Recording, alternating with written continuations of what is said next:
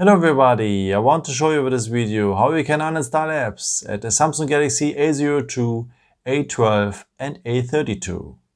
Okay, for that we will have two ways for. Let me show you the first one. Uh, for that we just go here to the app drawer like this and then here you will have all your apps and you can look now for the app you want to remove. May let's uh, remove in my case here the messenger. Okay, so go on the app you want to remove and hold your finger on it until you see that bar here.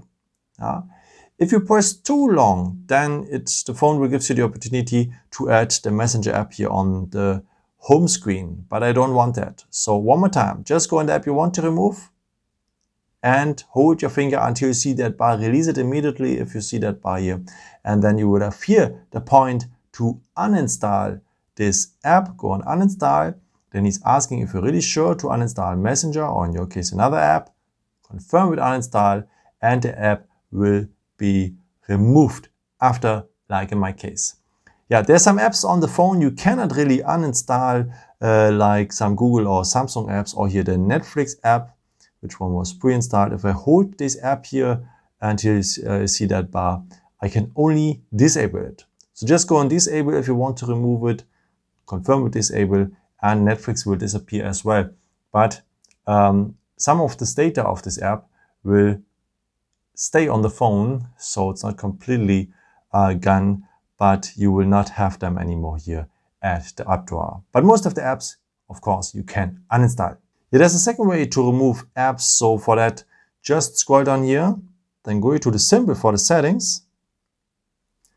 So, and then go to the point apps.